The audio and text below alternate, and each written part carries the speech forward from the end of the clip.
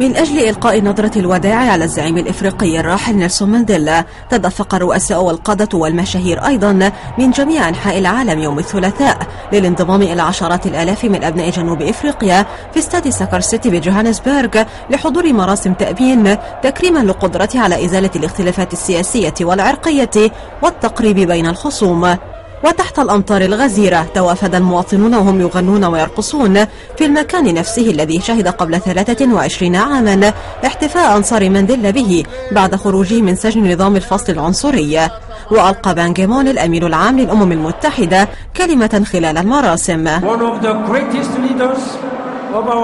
نيلسون مانديلا كان واحدا من أعظم قادة عصرنا. كان واحدا من أعظم معلمينا. لقد علمنا بإعطائنا القدوة والمثل.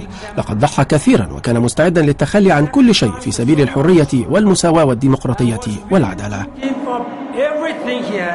وشارك في مراسم التأبين قادة دول شهدت عداء فيما بينها مثل الولايات المتحدة وكوبا وأيضا زيمبابوي وبريطانيا لكنهم جميعا وضعوا خلافاتهم جانبا في هذا اليوم وخفضت أصوات العداوات أثناء تكريم ذكرى مانديلا الذي استخدم إيمانه بالمصالحة في توحيد جنوب إفريقيا ذات الأعراق المتعددة.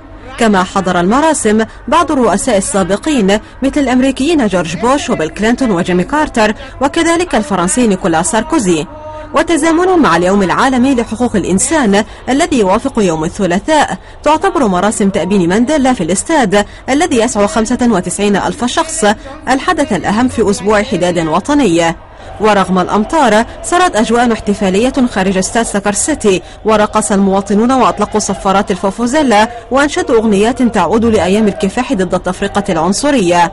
وفرضت إجراءات أمنية ضخمة لتأمين الحدث حيث منعت السيارة الخاصة من دخول المنطقة المحيطة بالإستاد وطلبت السلطات المواطنين الراغبين في المشاركة استخدام المواصلات العامة. وبعد انتهاء المراسم سيظل جثمان مانديلا مزجيا على نعش مفتوح لمدة ثلاثة أيام في مبنى يونيون بيلدينغز في بريطوريا الذي أدى فيه مانديلا اليمين الدستورية كأول رئيس أسود لجنوب إفريقيا عام 1994 ويدفن مانديلا بعد ذلك يوم الأحد في الخامس عشر من ديسمبر في كونو مسقط رأسه بإقليم كيب الشرقية الواقع على بعد 700 كيلومتر جنوبي جوهانسبرغ.